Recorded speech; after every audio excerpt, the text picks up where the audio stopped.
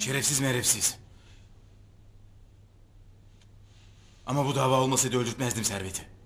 Sürgün ederdim giderdi. Ama insanlara bir gözdağı vermemiz lazımdı. Can Polat. Kim olursa olsun. Yüzünü de değiştirseler. Kaşını gözünü de değiştirseler. Biz adamı dilinden tanırız. O dili de bir ara keser atarız. Üstelik sülalesinin de dilini keseriz. Raconsa racon. Karısına çocuğuna bir ömür bakarız. Herkes senin ne kadar merhametli olduğunu anlar. Hem korkar hem saygı gösterir. Dilini kesip yollatmana sesimi çıkarmadım. Ama o da yanlış. Gözdağı verirken şimdi hakikaten senin arkandan iş çeviren ya da açığı olan kim varsa korkup savcının kucağına düşecek. Servet de kucağına düşmüştü savcının. Herkes bunun sonunu anlasın. İçeride oturup emirler veriyorsun. Dışarıda benim işlerimi zorlaştırıyorsun. Savcı serveti önümüze yem attı, biz de yedik. Asıl bombayı duruşmanın sonunda patlattı.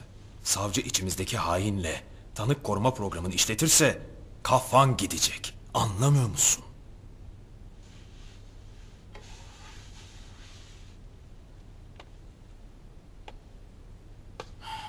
Ne yapmamı istiyorsun Can Polat?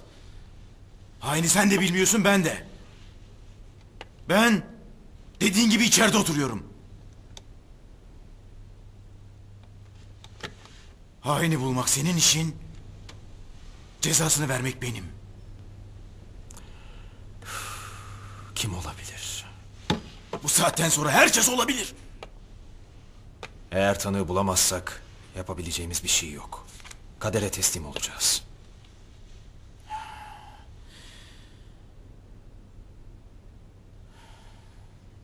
Ama sen birilerini korkutursan ortada ne tanık kalır ne savcı.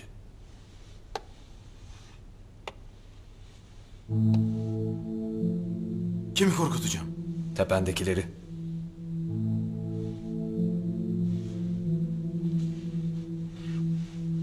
Nasıl? Tanık koruma programına girerim diyeceksin.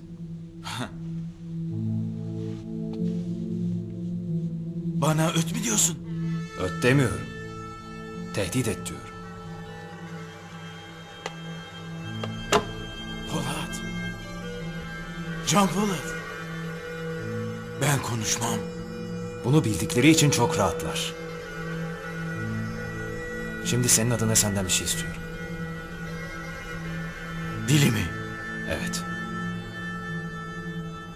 Senin dilinle konuşup herkesi tehdit edeceğim. Beni kayınpederinle görüştür. Baş başa.